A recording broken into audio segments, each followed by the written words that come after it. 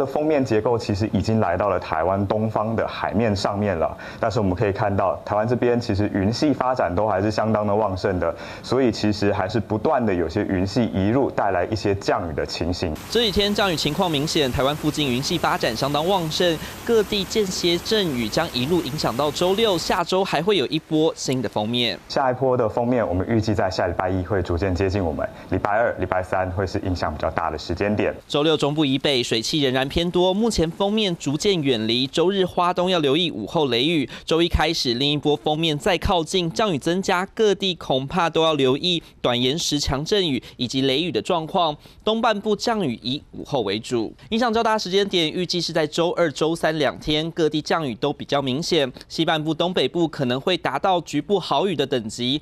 周四水汽逐渐减少，各地都还是会有些短暂阵雨的现象。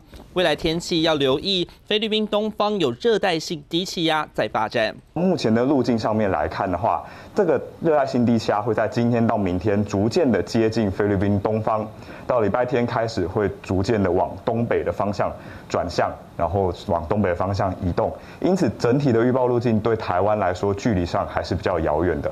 今年首个台风艾维尼最快周五就会生成。虽然目前距离台湾遥远，如果台风北转过程更靠近台湾或更靠近封面，有可能对封面结构带来影响。气象署也会持续观察。三学院高官薛肖明台北采访报道。